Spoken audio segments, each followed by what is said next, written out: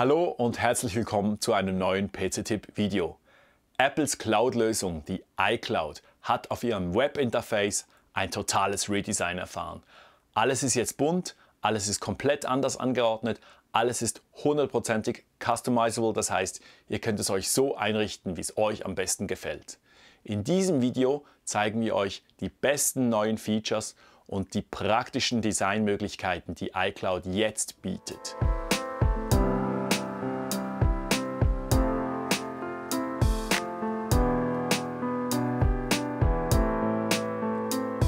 So, und ich äh, zeige euch jetzt hier mal die neue iCloud.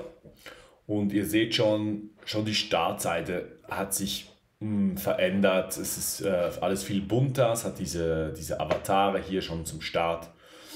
Ähm, aber wenn man sich anmeldet, sieht es nochmal komplett anders aus. Und das werden wir jetzt mal tun.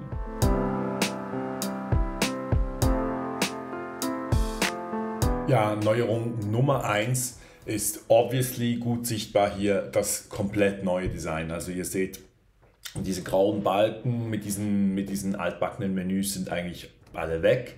Wir haben hier so eine Art interaktiven Desktop, der aus verschiedenen Elementen aus dem bekannten ähm, ja, macOS, iOS-Universum besteht. Das ist eigentlich schon, schon rein optisch eigentlich die größte Neuerung, ähm, die iCloud bietet.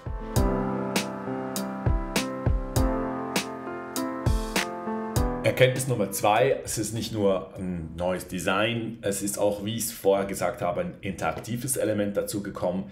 Ihr könnt nämlich direkt diese ganzen Elemente jetzt ansteuern. Also wenn ihr beispielsweise sagt, ja, Mail, dann gibt es einfach einen Doppelklick und dann kommt ihr in, euer, äh, ja, in euren iCloud äh, Mail-Account oder einfach äh, jedenfalls in die, in die Inbox, die ihr halt über Apples Mail-Programm eingerichtet habt.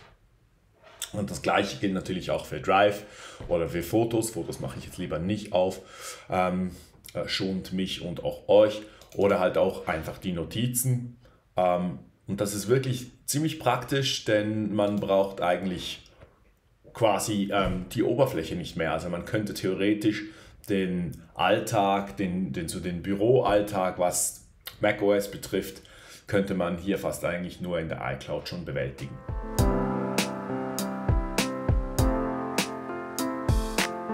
Neuerung Nummer drei, eine Neuerung, die mir persönlich sehr gut gefällt, ist, dass eigentlich Desktop und dieses Webinterface zusammenarbeiten. Wenn ihr beispielsweise hier jetzt auf Drive geht und dann habt ihr hier die ganzen Dateien natürlich, dann könnt ihr hier irgendwas auswählen und dann oben auf diese kleine Wolke klicken und dann könnt ihr das Foto oder die Datei, was auch immer ihr da markiert habt, direkt auf euren PC oder auf euren Mac herunterladen. Der Vorteil dabei ist, besonders für Windows-User, dass ihr nicht mehr dieses iCloud for Windows Programm ähm, braucht, weil das ist meiner Meinung nach ziemlich buggy und eigentlich nicht so zuverlässig.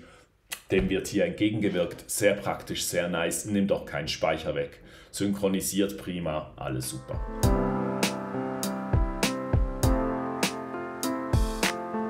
Erkenntnis Nummer 4, dieser, ähm, diese ganze Oberfläche ist eigentlich komplett customizable, wie es auf Neudeutsch heißt. Ähm, ihr seid also nicht darauf angewiesen, dass jetzt hier Drive ist und hier Mail und so weiter, sondern ihr könnt eigentlich hier einfach runter scrollen, auf Homepage anpassen und dann könnt ihr beispielsweise ähm, Kacheln hinzufügen. Also beispielsweise hier ähm, Pages haben wir jetzt hier nirgends, können wir draufklicken und dann kommt eine neue Kachel mit Pages hier dazu.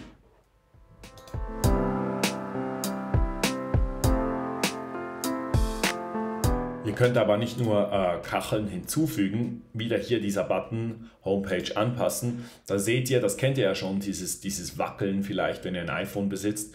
Ähm, wenn ihr hier dann auf das Minus klickt, dann könntet ihr auch die Kachel einfach rausschmeißen. Ne? Also die Kachel wirklich entfernen, ja, will ich, tschüss.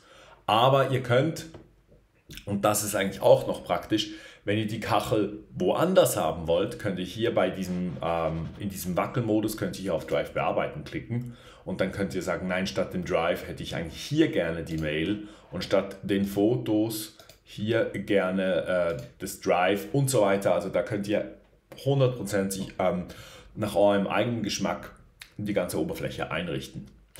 Fazit, ähm, ich bin sehr zufrieden. Ich finde, Apple hat hier gute Arbeit geleistet. Ähm, wird mir auf jeden Fall mehr Spaß machen, ab jetzt mit iCloud zu arbeiten. Ähm, braucht logischerweise wie alles ein bisschen Eingewöhnungszeit, aber insgesamt muss ich sagen, doch, Daumen hoch ist okay. Benutzt ihr die iCloud oder Google Drive oder eine andere Speicherlösung? Schreibt uns in die drunter Kommis. Wenn euch dieses Video gefallen hat, lasst uns einen Daumen hoch da, klickt in die Mitte, um den Channel zu abonnieren. Links und rechts gibt es weitere Videos, wenn ihr Bock habt. Wir sehen uns nächste Woche. Bis dann. Tschüss.